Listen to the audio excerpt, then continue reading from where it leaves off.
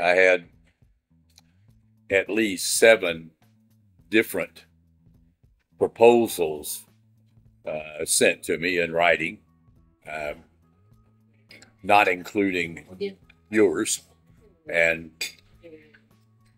trying to sift through all of that and uh, make a decision was a bit of a problem. I knew that Daniel had already done a lot of the footwork in that. And he described to me, he outlined what uh, your firm had um, proposed to him, what he'd been able to negotiate with them.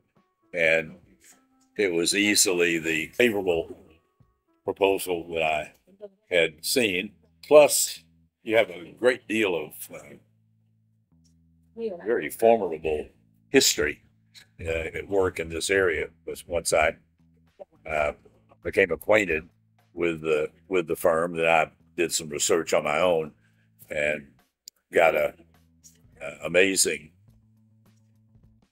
background in terms of uh, work you've already done and the effectiveness that you've had for your clients. So between those two things, it was a pretty easy decision.